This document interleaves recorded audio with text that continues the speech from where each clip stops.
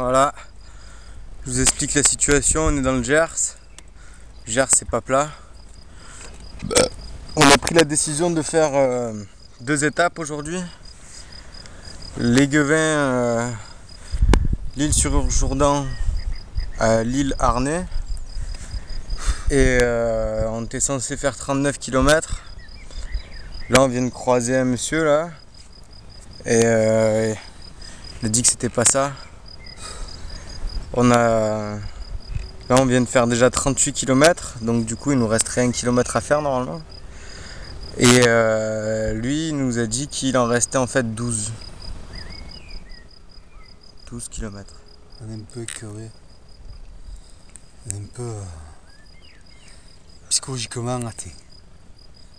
Mais on y arrivera. Peut-être.